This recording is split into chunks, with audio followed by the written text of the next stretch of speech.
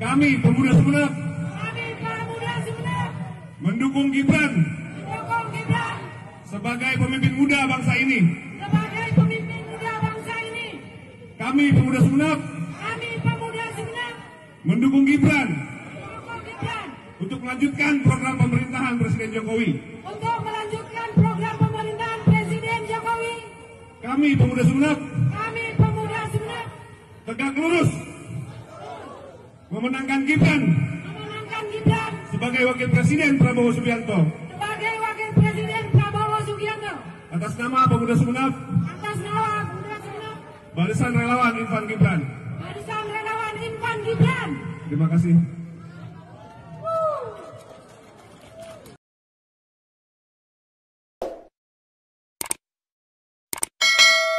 Assalamualaikum warahmatullahi wabarakatuh Pemirsa Satu putaran ambruk Itu indikasinya banyak ya. Terjadi di paslon 02 ini. Agak kasihan pemirsa. Tetapi tampaknya memang apa yang harus dikatakan ya? Panggung dibuat di mana-mana. Ya di Madura, di Jawa Timur, di Salatiga ini yang baru juga di Purbalingga, di mana-mana. Dan sudah barang tentu ketika menggelar panggung-panggung kayak begitu, itu kan mengundang rakyat ya. Yang hadir siapa? Yang hadir pemain musiknya saja yang memang sudah dibayar sekian juta kan begitu. Sama mungkin 2, 3, 4, 5 panitia tetapi rakyat yang sudah disiapkan door prize, mungkin sudah di woro-woro, dan lain sebagainya, tidak ada yang hadir.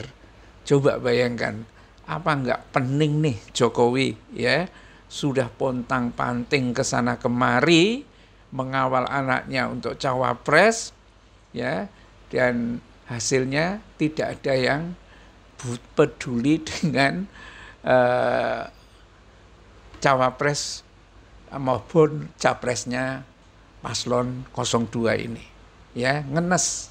Yang ada yang nonton katanya 11 kali di berbagai kota ya panggungnya hampir sama semua panggung yang dibuat oleh paslon 02 itu gak ada orangnya kalau ada itu goib sementara kita tidak bisa uh, melihat hal yang goib ya kan Nah, tidak tahu yang disurvei itu apa. Katanya kan 6, 52 persen. Bahkan terakhir ini pemirsa surveinya 55 persen. Coba bayangkan, masa sih nggak tercermin sama sekali dalam realitas yang ada itu. Ya, kenapa bisa sampai seperti itu, pemirsa? Ya, apakah ini karena persoalan cawapresnya? Saya kira iya ya karena cawapresnya ya itu memang menunjukkan satu bentuk ya ketengilan, kesongongan ya dan ini membuat orang yang dekat-dekat walaupun dia masih muda kelompok milenial itu untuk dekat itu males kecuali mereka-mereka yang tersandra itu ya kan yang mereka-mereka yang tersandra karena kasus kah atau mungkin mereka-mereka yang menjilat. Ada dua perempuan cantik-cantik ya, menjadi olo-oloan netizen ya karena dulu anti terhadap politik dinasti. Nah, sekarang ya tukang cebokin katanya sampai seperti itu. Yang kedua, apakah juga karena capresnya? Bisa saja iya. Ya, orang selalu ingat dengan tema-tema penculikan dan terakhir ini kayaknya ngaku gitu loh Prabowo ngaku ngejar-ngejar uh, Budiman Sujatmiko. Lo sih nakal, bandel katanya. Ya, tangkap tapi aman. Yang 13 orang ini gitu kan. Itu ya. Jadi uh, rakyat tampaknya tidak mau diidentifikasi dengan capres dan cawapres yang bermasalah ya. Dan itulah akhirnya uh, ketika duit juga mungkin bayarnya nggak banyak ya dipalai sama korlap dan lain sebagainya paling 50 ribu 100 ribu ngapain juga kan? Uh, nanti rusak namanya di mata anak cucunya. Jadi nggak ada yang mau gitu kan nah tapi juga bisa terjadi karena visi dan misinya Ya, program utamanya makan siang ya, makan siang. Kayak kita tahun 50-an baru merdeka saja ini programnya. Ketika orang memang banyak kelaparan. Jadi program makan siang itu mungkin sangat diharapkan. Semua orang tua ya itu sudah memberikan bukan hanya makan siang pada anaknya, tetapi juga makan pagi, makan malam, bahkan pelesiran dan lain sebagainya. Ini ada capres cawapres hanya mengandalkan makan siang.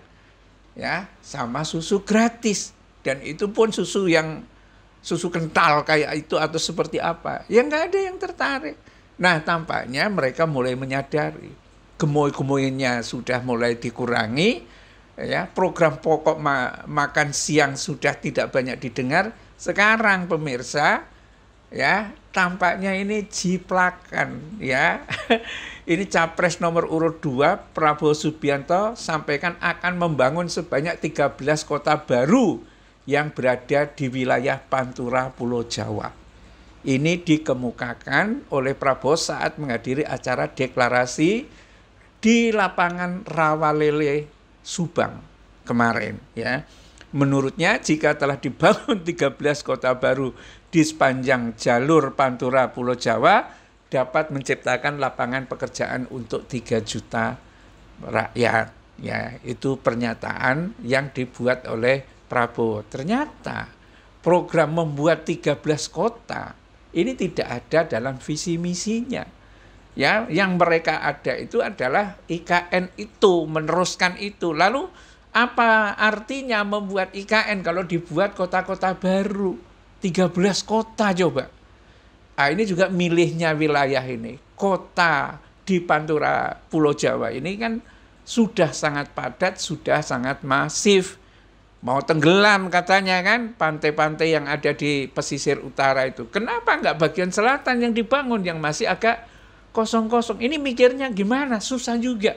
Dan karena itu banyak netizen kemudian langsung nyinyir. Ya, ini mah uh, jiplak tapi agak malu-malu terhadap program upgrade 40 kota yang dibuat oleh paslon 1 Anies Baswedan Caimin. Karena apa? Karena dia akan menunda pembangunan IKN yang menghabiskan 400 triliun bahkan menurut uh, pengamat politik militer KONI ya itu eh, seribu triliun lebih itu bakal jadinya itu. Itu dibatalin, dipakai untuk membangun 40 kota. Ya. Dan hasilnya hanya sekitar 200-an sekian triliun. Jadi memang kayaknya serba perlu dipertanyakan. Apakah capresnya, apakah cawapresnya, bagaimana prosedur, prosedurnya, kemudian rekam jejaknya, ya, dan visi misinya kok berantakan semua. Wajar kalau tampaknya makin hari makin ditinggalkan oleh rakyat. Satu pusaran ya, satu putaran bisa langsung ambruk, pusing kepalanya. Bila taufik wal hidayah. Assalamualaikum warahmatullahi wabarakatuh.